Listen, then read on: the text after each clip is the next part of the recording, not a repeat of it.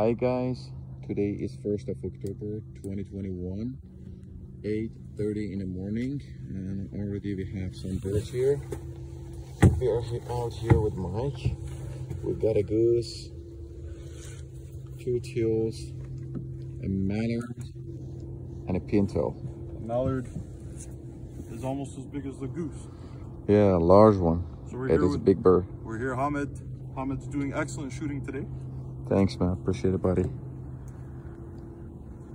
Always good to have you guys as a company Beautiful. and having fun. Excellent Nice, morning. nice Beautiful birds. morning. Yeah, it has been a nice morning. And lots of birds flying around, which is beautiful scenery.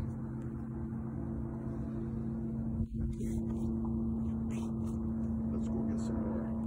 Yep. Kill more of them.